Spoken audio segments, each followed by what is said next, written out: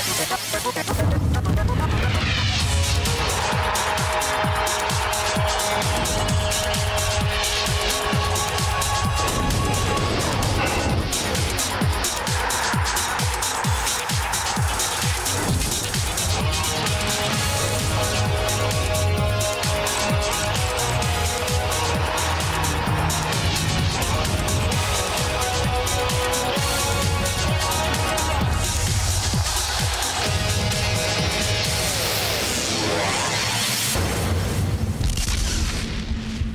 Like any good thriller, we have a tale of joy, sadness, and near tragedy, with a twist at the end.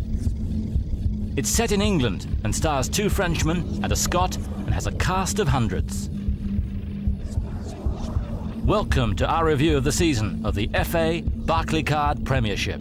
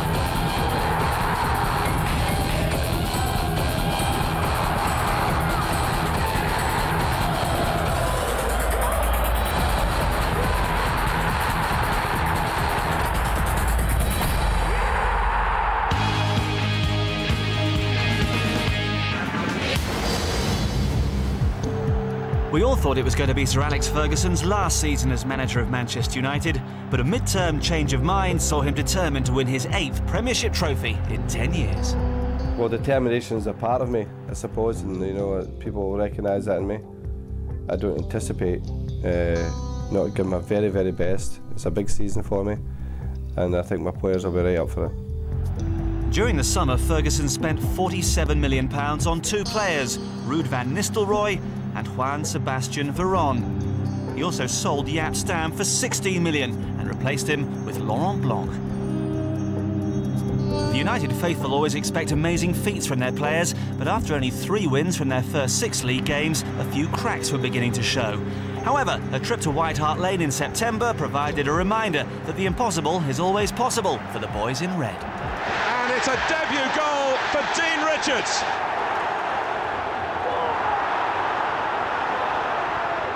It's a goal! Les Ferdinand has drilled it in.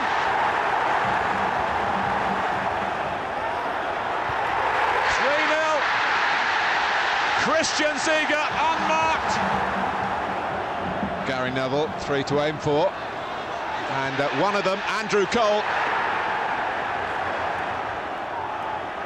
Blanc! They've got another one back.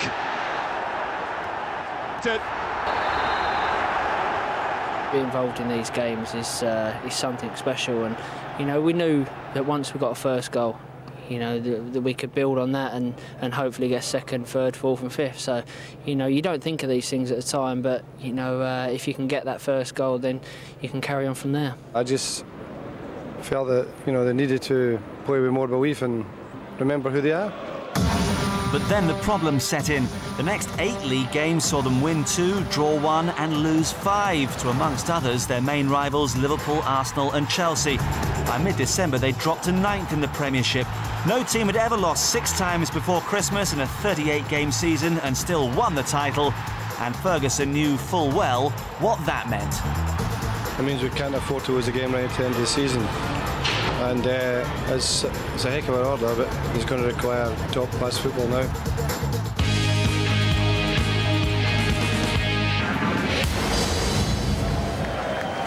Bolton Wanderers, under the stewardship of Sam Allardyce, had been promoted via the playoffs and were, of course, everyone's favourites to go straight back down. Their chances of survival were quickly reassessed on the first day of the season.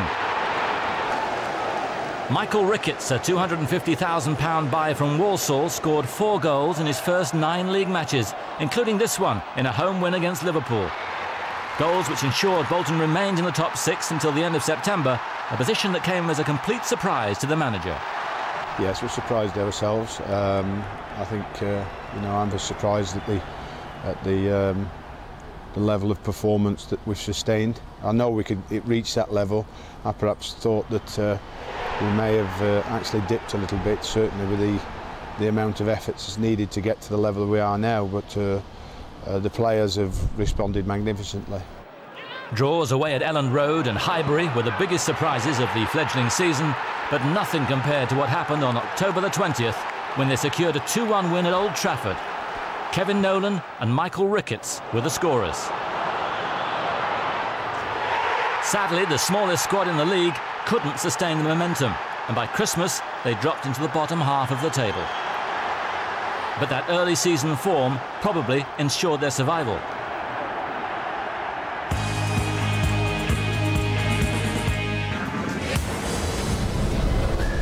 With four qualifying places available for the Champions League, Leeds United's fans expected their team to comfortably book a place in Europe's premier competition. David O'Leary's side started the season in championship form, travelling to Highbury to beat Arsenal 2-1 in August. Ian Harte put them in front, and although Sylvain Wiltord equalised, the Yorkshire side held firm. And they made a lot of people sit up and take notice when Mark Viduka lashed home the winner.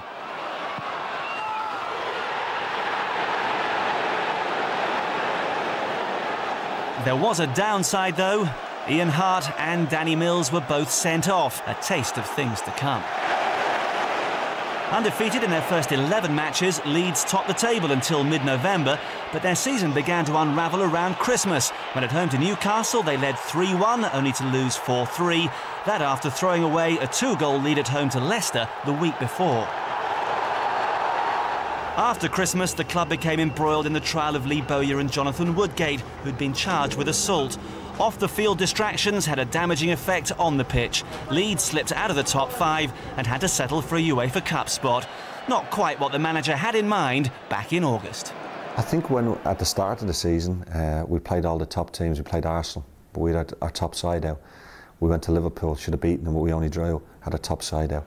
I think on too many occasions since then, when we've gone in against the top sides, they've had the full sides out. We haven't. And uh, when you play the big sides, you need your top side out against them if you're going to do well. And uh, that's what we haven't been able to do this season.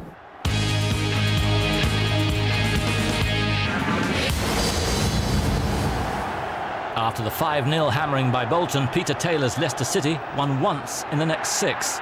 And by the end of September, he knew that his job was on the line. A 2-0 defeat by Charlton left Leicester rock bottom, and Taylor was sacked, the first of seven managerial changes in the season. But the writing had been on the wall almost from the very start. That is my biggest argument with Leicester. I was sacked after eight games, but had pressure after two. You know, I was told really after the second game that it, that, that could be my third game, which was Ipswich at home, could be my last game. Dave Bassett replaced Taylor, but not even experience can guarantee job security.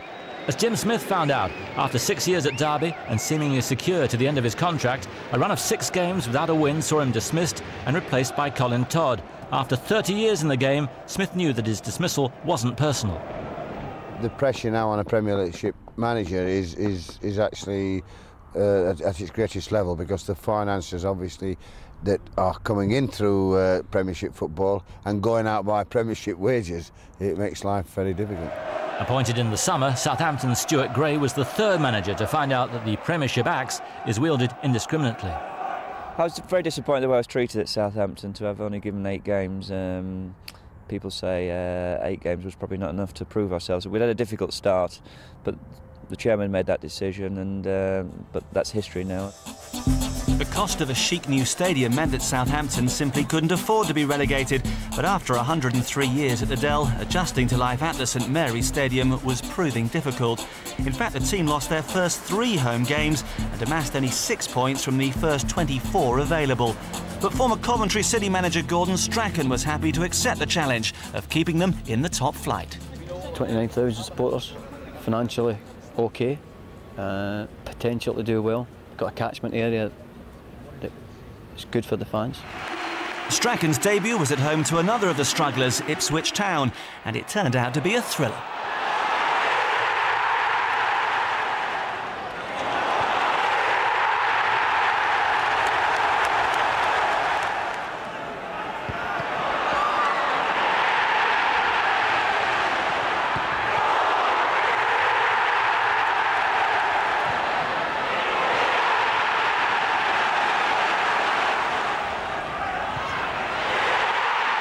That three-all draw was followed by three defeats, leaving the team rock bottom. But then performances improved. Against Charlton, Marian Pahars secured a first home win at St Mary's. Five more wins followed in the next eight games, and Premiership survival was assured with almost indecent haste, leaving the chairman delighted with his new manager. He's settled in very well. I very much enjoy working with him. He's um, very enthusiastic. He's uh, very professional in the way he approaches everything. I think uh, he's improved the players' fitness and also I think they all know now exactly what's expected of them.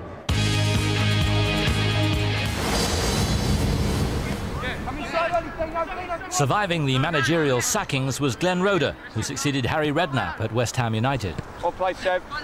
It's a great honour for me to have been asked to uh, manage a club with the traditions that West Ham have got and uh, I'm looking forward to it and uh, hopefully we'll have a good season and uh, turn the corner from what was a disappointing year last year. Fans and players alike were hoping for a more high-profile appointment, but as candidates fell by the wayside, the club appointed within. The majority of players applauded the choice. I think a lot of lads did put his name forward, knowing that you know we'd be happy to work for him. He's a gentleman. Um, it's a good atmosphere up here. You know we all want to play for the club, and um, you know I think Glenn's going to do a good job. But the season got off to a shaky start. Five points from his first six games put Roeder under immense pressure. The away form was the most concerning. At the start of October, the Hammers were defeated 5-0 by Everton and then 7-1 by Blackburn Rovers. They conceded 16 goals and scored only five, leaving them second from bottom in the league. Roeder was bringing in a new philosophy, and it had the fans divided on whether he should stay or go. Not playing at all well, actually. I, I think it's, it's uh, quite a poor performance, mainly on the part of the manager. I would say I don't know a lot about the man, but you've got to give him a fair crack at the whip. You know, it's only been a few games. I like to see anybody given a chance. The results came instantly. Roeder won the next three games, and with the help of young starlet Jermaine Defoe, West Ham climbed out of the relegation zone. By the time they recorded that famous 1-0 win at Manchester United in December, the Hammers were on their way to a top 10 finish.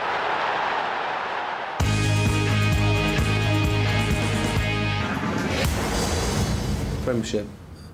It, you've got these great sides, these great players, and that's why we're in there. You know, that's why we want to be there competing against them. So uh, we're looking forward to it.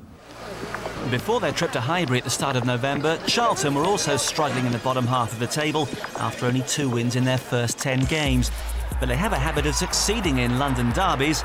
Trailing 1-0, they scored four goals in 18 minutes to memorably beat Arsenal 4-2.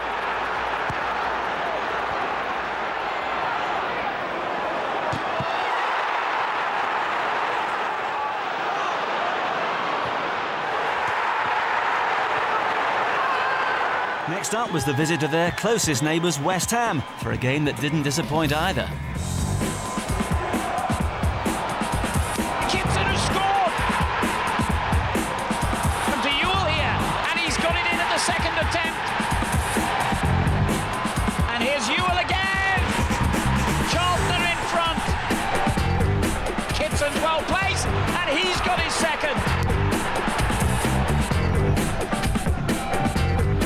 There's an excellent through ball for Johansson!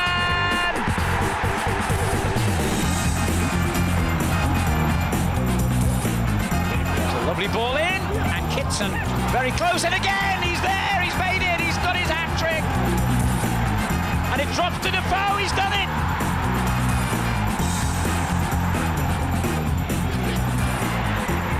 It's 4-4! A win and a draw and eight goals scored, it looked as though Charlton's season had finally sprung to life. But injuries would haunt Alan Curbishley, and at times his small squad was stretched to the limit. I've heard other people complain about their injuries, but I don't think anyone's had anything like us. And it's just incredible. And we played um, at Newcastle at home, drew one all, and was about to play Chelsea on the Wednesday, and I had 14 fit players. That is all I had left. By the end of January, Charlton had climbed to 8th, but with only two wins in their final 12 games, they had to settle for 13th. Still not bad for one of these supposed minnows.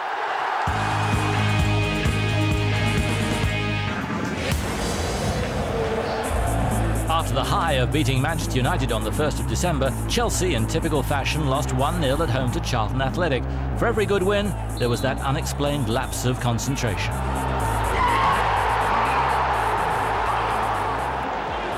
It was only Claudio Ranieri's second defeat of the season, but the first 14 league games had produced eight draws against opposition they should have beaten. Despite this, the goals were flowing and an important partnership was taking shape. Jimmy Floyd Hasselbaink had already reached 11 goals in the league, once again making him a candidate for top scorer of the season.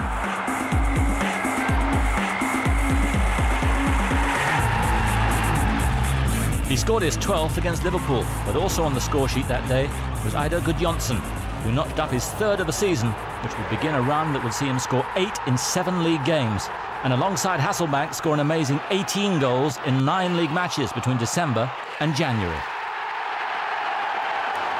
I'm delighted, but not. I'm, I mean, I want to do even better. I want to. I want to keep progressing, and I want to, you know, always improve myself. So if I if I get, you know, 20 goals this season, I'd like to score 20 odd next season. Stalled between fifth and sixth place in the league, Chelsea went on a cup run that would take them to the final for the third time in six years, before losing to Arsenal. But it guaranteed UEFA Cup football once again. And with Ranieri signing for a further five years, Chelsea had the potential to challenge for the top honours next year. How many times, though, have we heard that before?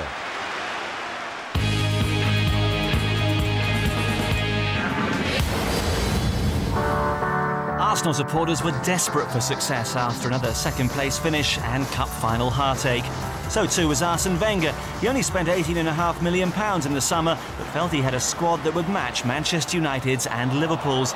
Their away form had been a weakness last season, but on the first day of the new campaign, they travelled to Middlesbrough and won convincingly, a sign that the team was determined to get it right from the start, a determination that was to produce record breaking results. Home form was a concern Wenger's tenure. The visitors made full use of their numerical superiority.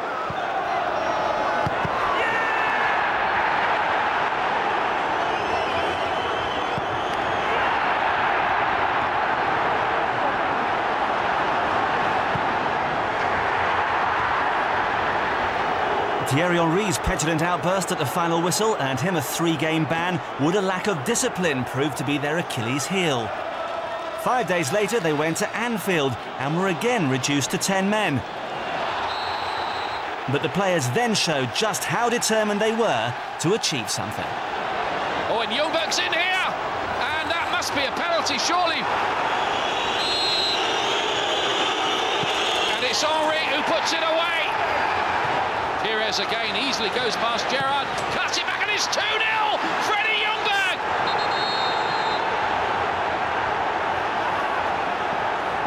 It was a turning point because we just lost against Newcastle and uh, when we won at Anfield with 10 men uh, every time we were back to the wall we found the resources to win the games and uh, from Anfield on I was convinced that we would win the championship.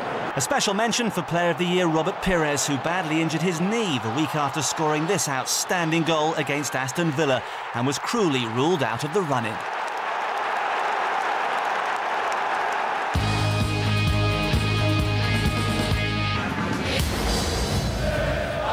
At the start of their third season back in the Premiership, Sunderland were looking to progress. Two top seven finishes had ignited hopes of Europe and even the Champions League. For Peter Reid, though, things weren't going according to plan. His side were finding consistency difficult, winning only five of their first 17 games. But during the Christmas period, they defeated Everton and then Blackburn 3-0 on Boxing Day to climb to 12th in the table.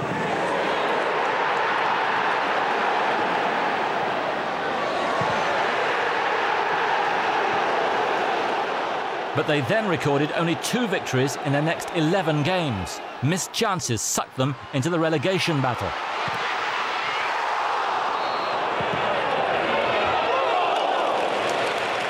Stressful times indeed for the manager. I just don't think we we've been as, as fluent and as played as well. But certainly we haven't stuck our chances away like we did in the, in the previous two seasons. That, I think that's been a major factor. You know, I think defensively we've been not bad, but we ain't scored enough goals. Claudio Reyna, the American World Cup star, was brought in from Glasgow Rangers to bolster the midfield. He had an immediate effect, but it wasn't to last, and Sunderland would become involved in a relegation dogfight.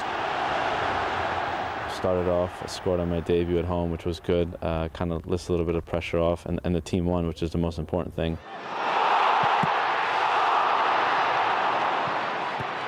Unfortunately, right now we're just in a little bit of a battle, but uh, everyone's really confident that we're going to get out of that. Confident maybe, but it was a battle that would go to the last day of the season.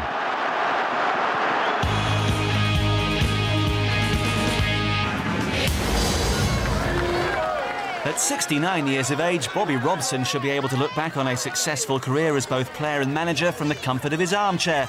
But such is the passion of the man for his beloved Newcastle that he's intent on bringing success to the region. This season, he went a long way towards achieving those goals. Against Manchester United, he masterminded a 4-3 win. Robert rams it past Barthez. Oh, it bounced through Barthez. It's a goal. It's Dabizas. He's experienced enough to know how to handle uh, every single situation, and that's I think it's the most important thing in football to know how to handle situations when it comes to difficult times. Nikos Dabizas scored the goal that gave Robson his first ever win at the Stadium of Light, a victory that proved they were ready to challenge for the Champions League. You know, we have this terrific enthusiasm, we have great uh, high energy levels, and we have wonderful team morale and team team spirit. It's, it's part of the business. Without that, you haven't got a football club. And of course, he's resurrected Alan Shearer's career, so much so that the striker was able to celebrate his 200th Premiership goal.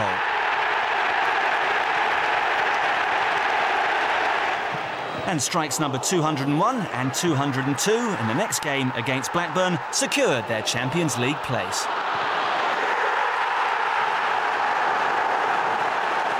Who said football was a young man's game?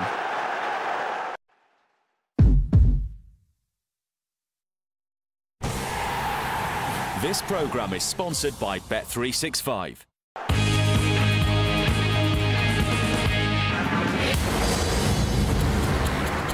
Steve McClaren took up the reins at Middlesbrough, having turned down West Ham in the summer.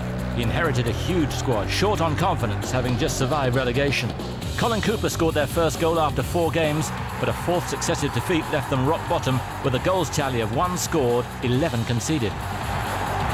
We had a bad start and then we we had a run of I think 11 games and we collected 19 points and established ourselves just above uh, just above the relegation and, and we had opportunities to really get out of it and go into mid-table but we didn't take them. Bottom at the end of the year, Middlesbrough lost just twice in January and February, conceding only six goals and lifting themselves to 11th place. An FA Cup run to the semi-final further enhanced reputation of team and manager. Although McClaren believes there's plenty of work still to be done. We're finishing mid-table, probably just below, and uh, we've got to be satisfied with that in the first season. Um, so the full-term report is okay, uh, can do better, must do better.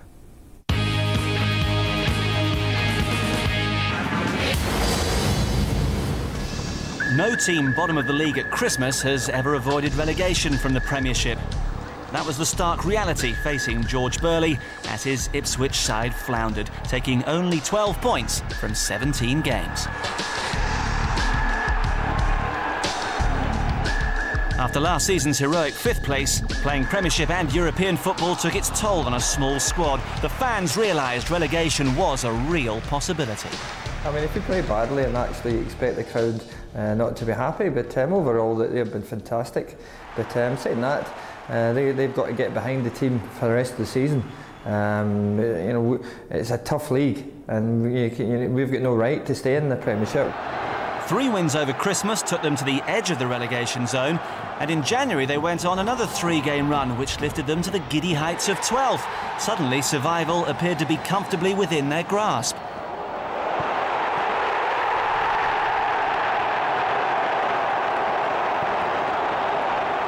But it was a false dawn. In February and March, their defences came crashing down again as they won only once in 12.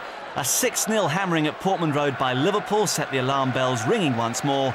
Like Sunderland, their fate wouldn't be decided until the final day of the season.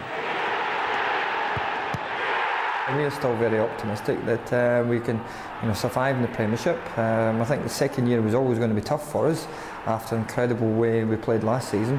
But everybody's um, confident uh, we, we can uh, survive again this year.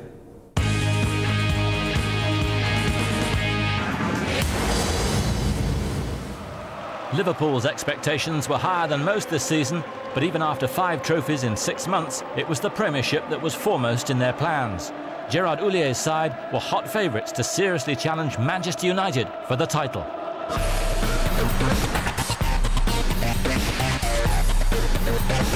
First six fixtures, but their home clash with Leeds would have a devastating effect on the team and football in general. During the match, Houllier was taken to hospital complaining of chest pains. He was forced to undergo a nine-hour operation and would be away from the game for five months. Assistant manager Phil Thompson took charge of the team. At their next home match, they took on the champions, and the Kop made an affectionate tribute to their manager.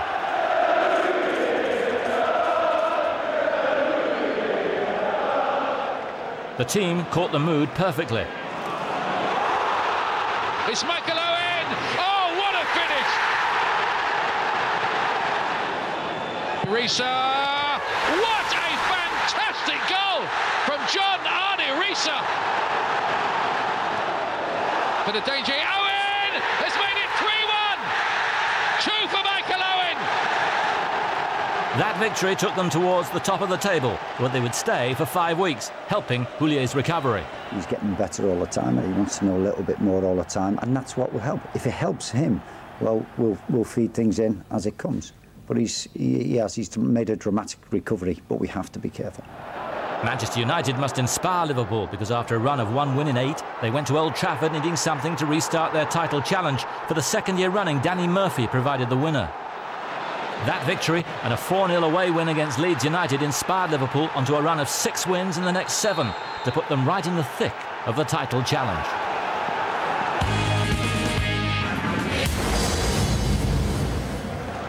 After last year's promotion, the Premiership drums at Ewood Park have been beating loudly all season, but not always for the right reasons. A successful season for Graeme Souness would depend on the performances of some of his young stars. Could, for example, David Dunn and Damien Duff adapt to the pressures of top-flight football? I think the biggest thing they've maybe had to come to terms with it that there's no easy games, that there's no there's no easy games and there's no sustained periods in a game where it's easy. You can take your foot off the accelerator and, and allow your brain to drift off somewhere else. You've got to stay fully focused for the 90 minutes at this level. They were certainly focused during their emphatic 7-1 win against West Ham, but Rovers failed to capitalise on that victory. They remained wildly inconsistent in the league, saving their best for cup competitions. Success in the Worthington Cup final against Spurs in February masked a dreadful league run, which saw them lose 10 times in 12 outings.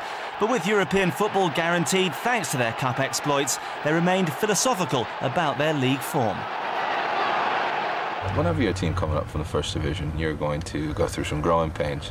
Uh, we went through it in, during the Christmas period. Uh, Bolton started going through it about that time as well. It's just one of the uh, one of the things that happens. Cup success eventually inspired them in the Premiership, and the Dunn-Duff combination continued to shine through March and April as they won five times in nine games to secure their league status.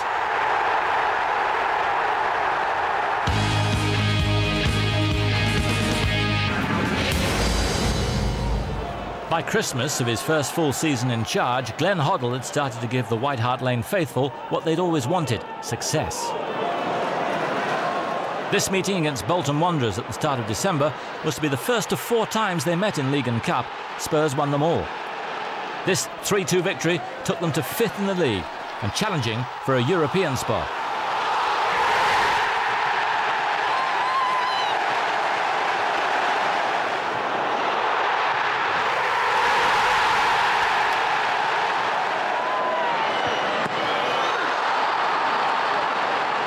Been a season of frustration, one that was highlighted with some great football. Obviously, disappointments in, in getting to the final, not winning it. But I think if we, you know, if, you, if we are going into Europe, we have to be ready to go into Europe, and um, you know, it might be just a, a part of the building process that, that's going in, and that does take time. Any any manager, any club will tell you that. Sadly, successful runs in both competitions didn't produce any silverware, and despite finishing in the top 10, there'll be no European football at White Hart Lane next season.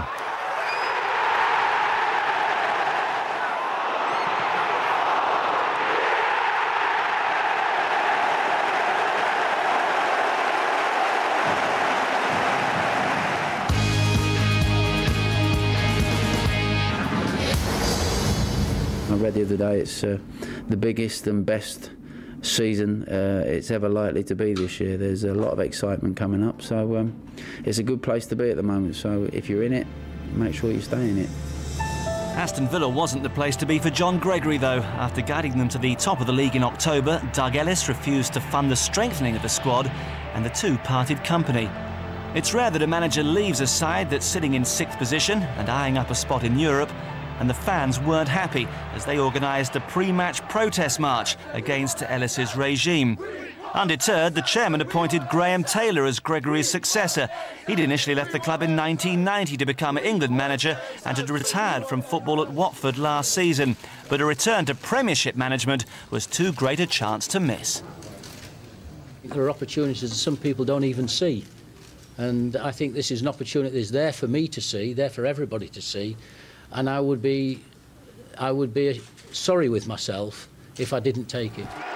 Taylor received a hero's return, but he used the rest of the season to look at the players available to him. And with just two wins in 14 games, Villa finished eighth, qualifying for nothing grander than the Intertoto Cup.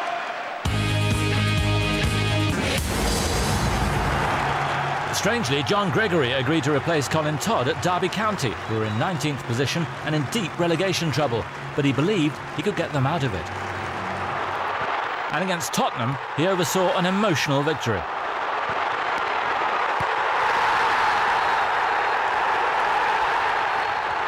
Derby won two of the next five.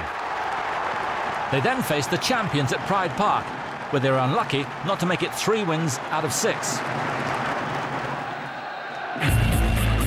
Malcolm Christie put Derby in front.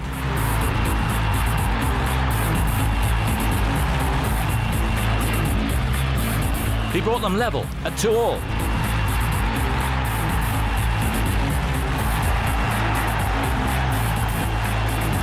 Only to have a winner harshly disallowed. But at that point, the fans still believed Gregory would lead them to safety. I think he's done a brilliant job so far. He's uh, transformed the team, he's uh, improved the system, they're playing with a lot of confidence. I've got hope for the future now, which I didn't have before.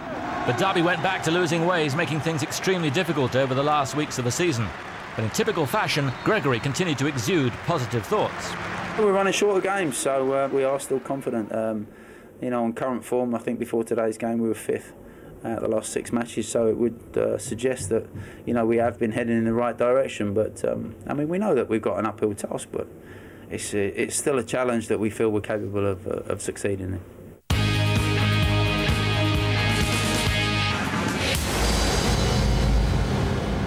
Everton kicked off their season with two wins and a draw to go top of the league.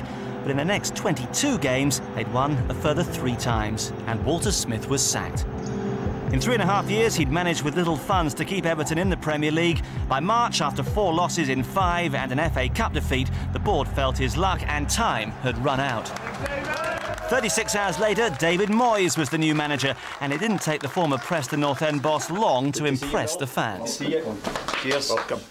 And I think I'm joining a football club which uh, is probably the people's football club in Liverpool, and uh, the people in the street support Everton, and uh, I hope to give them something over the next few years that they can be very proud of.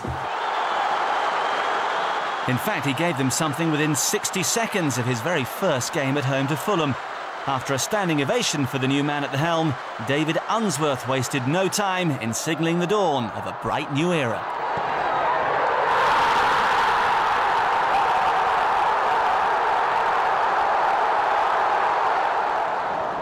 Duncan Ferguson sealed the 2-1 win.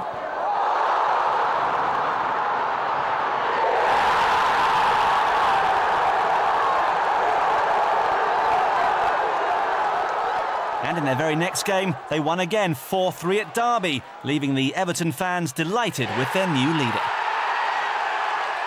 I just think he's put a you know, bit of regeneration into the, the whole mood of the place. Uh, everybody was a bit down in the dumps with the way Everton were playing under Smith, too defensive.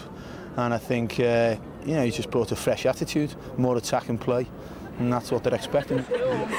Two further wins ensured Premier League football once again for Evertonians next season, with their team finishing 15th.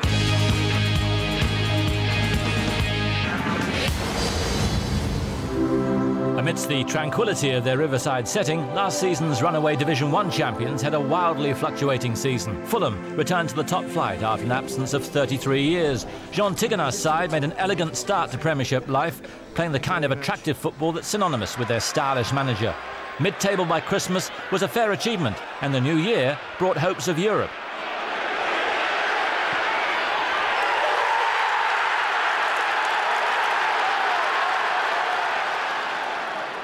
But then things ground to a halt. They found themselves stuck on 35 points, losing six consecutive matches, and now there was a fear of the drop. Defender Rufus Brevett was realistic about the situation. I don't think we're playing with as much confidence as we have uh, beginning of the season. And I think that always happens when you when you lose games. You do tend to lose that little bit of confidence. We need to get that win, and and I think that will breed the confidence and get it all back. And because you don't turn into a bad team overnight. Well, Fulham certainly weren't a bad team in the FA Cup. They reached the semis, only to lose out to their London neighbours, Chelsea. But the Premiership pressure was on Tigana. Three more games without a win dragged them towards the relegation zone. But he still received the full support of his chairman, despite the fact that the club reported a £23 million loss. League status was secured against Bolton Wanderers after an impressive away win at Leeds United the week before. It had been a tough first season for Fulham, but they have qualified for the Intertoto Cup. It won't, though, be at Craven Cottage next year. They're moving to Queen's Park Rangers, Loftus Road. After 103 years, the ground is to be rebuilt.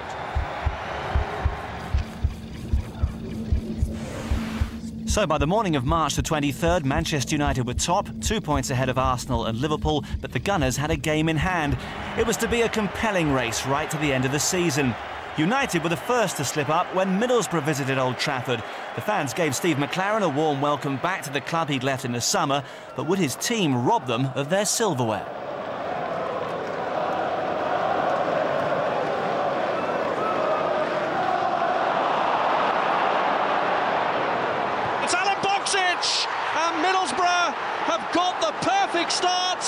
In the ninth minute. Veron caught dwelling on it. Boksic has hit another devastating blow for Manchester United and Sir Alex Ferguson. The players have shown great character over the years. The club has always been able to rise to challenges. We're now have a big one. And we need Arsenal and Liverpool to slip up now. March the 24th saw the return of Gerard Houllier to league action. He'd inspired his team to European triumph in midweek, and now he hoped to do it in the league. Chelsea were the opponents. Liverpool left it to the very last minute. Here come Liverpool again. Litmanen to Heskey. Might not get very many more opportunities. Heskey does well. Pulls it right back in and a goal! It's Vladimir Smicer. What a finish for Liverpool! A goal to project them the top of the Premiership. It's the Houllier effect again. Easter Saturday, and Manchester United had the chance to go top by beating Leeds in an early kick-off, and they didn't wilt on a day of glorious sunshine at Elland Road. And the finish is by Scholes, and it's Viduka in here, and Leeds are level. Now it's Scholes can really hit them like that. Solskjaer makes it 2-1. Here is Silvestre. Giggs couldn't quite get there. Solskjaer again. Oh, it's 3-1. Now then, Beckham. Here's a United counter. Beckham powering away down the right-hand side as Giggs and Solskjaer waiting in the middle. Here comes the cross, it's Giggs, and it's 4-1. What about that? Robbie Keane takes on Ronny Johnsen. Good run, great chance, and Leeds United in. Our supporters and players and managers would probably expect us to maybe drop something today, but it's not an easy place to come to. Man United's victory meant that Arsenal knew they had to beat Sunderland to stay in touch. Their FA Cup run had prevented them from playing the week before, giving them two games in hand over their rivals. Still favourites, but they had to win.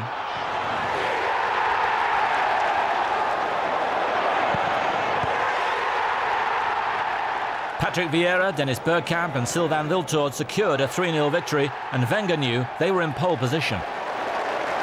It's uh, down to us and to how well we play and we feel uh, we have, we have the needed strengths. It meant Liverpool had to keep on winning. Murphy's kick, Smicer! He's done it again! Anelka has bent his run to stay onside. He's got Owen in the middle. Support arriving too from Smicer. Vladimir Smicer, Owen! 2-0 Liverpool and on course for a return to the top of the table. At the Valley on Easter Monday, Arsenal had the chance to go top by beating Charlton Athletic. Oh, and Henry. Rufus trying to get there, but Henry makes the most of it. Henry. Bergkamp, no flag. Round the goalkeeper. Freddie Ljungberg. Arsenal lead by two goals to nil. Here's Ljungberg and Wiltord. He's got Henry with him. He looks for Henry. Henry scores. It is 3-0 to Arsenal. So Arsenal took the lead a point ahead of Liverpool, two ahead of Man United. Crucially, they still had another game in hand. At Filbert Street, another early kick-off meant Manchester United could resume the lead by beating Leicester City. Ole Gunnar Solskjaer scored the goal that sent them top. It also confirmed relegation for the Foxes, whose disappointed manager Dave Bassett then handed over the reins to Mickey Adams. It will sink in on us all in the next few weeks, and uh, it's not the greatest feeling when all of a sudden you realise you've lost something that you wanted to always keep.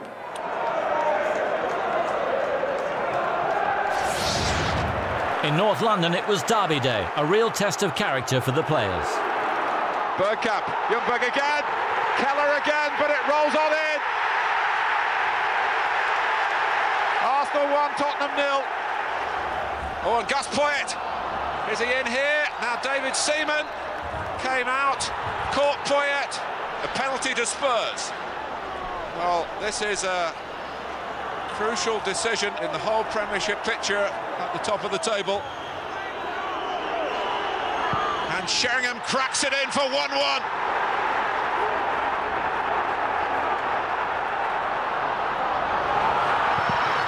Wiltord. Oh, down goes Oric. There's another penalty. It's a penalty for Arsenal. Steps Lauren. Oh, and he's rolled it in. Keller committed himself to the left. Arsenal jubilation. It's turned back their way. We have five games to go, so just let's go to the next game and uh, try to win it again. An early evening kick-off for Liverpool in the northeast, where a win would guarantee Champions League football. For is still very much alive. Well, Arsenal are still uh, in command and they've still one game in hand, but uh, it's not good for my heart at the moment. Not good either for Peter Reid. Two weeks later, United travelled to Stamford Bridge for the sort of challenge the manager had said they enjoy. And A dangerous situation here for Chelsea. Ryan Giggs free kick. Fooled everybody. Scholes! Oh, what a magnificent strike by Paul Scholes! So typical of the man. Brilliant goal.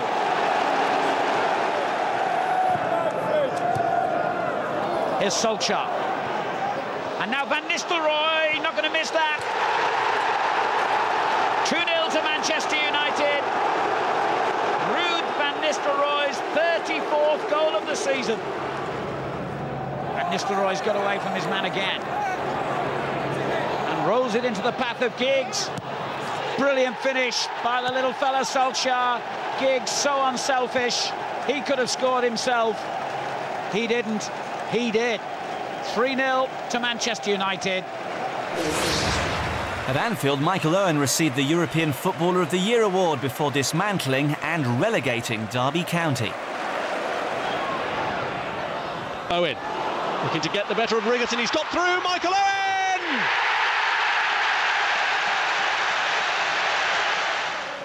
Heskey and Owen is away and onside, and Oakes has come out to meet him. Michael Owen, goal! Liverpool stay on course for the title. Derby are relegated. You know, I've got to take uh, responsibility for not been able to keep us in the Premiership. You know, it's hard to live with, and um, we have to be try and take all the positives out of what's been uh, uh, an appalling season, really, for our club. Two down, and George Burley's Ipswich look favourites to be the third team relegated. Ipswich would play all the leading teams in the run-in, beginning at Highbury, where after a tense 70 minutes, Freddie Ljungberg scored a brace to take Arsenal back to the top of the table. Ljungberg was to become the man of the end-of-season running.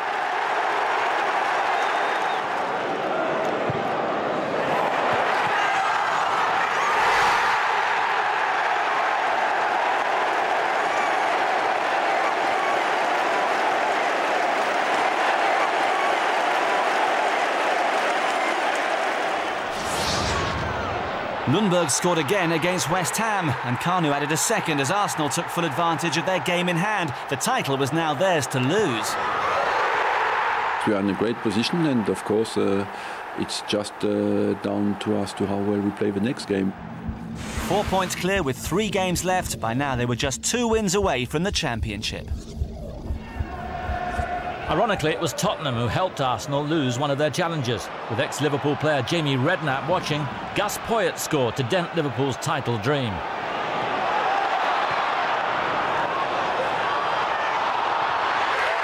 Now, if Arsenal won their next game, Liverpool could only finish second. I'm disappointed for the players and the fans because we didn't get the result we expected and we wanted. There's six points to, at stake and uh, we'll fight uh, to death for that. Three points from safety, Ipswich Town fans wanted to believe that survival was still a possibility, but Manchester United had to win. Ruud van Nistelrooy won a penalty decision, which he took full advantage of. And United duly climbed above Liverpool into second. So it was between United and Arsenal, and at Bolton the Gunners made it all but safe with a 2-0 win. Bergkamp trying to dance his way through. Ljungberg! This man is unstoppable! Freddie Ljungberg has done it again!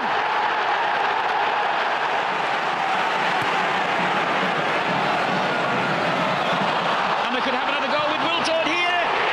It's 2 0. Another vital step towards the championship for Arsenal. We have not won the title yet, but we believe we will win it, and of course we want to finish the job. And so to Old Trafford, where a draw or better would hand Arsenal the title. Arsene Wenger's team had won the FA Cup final the previous weekend, and a glorious double was in sight.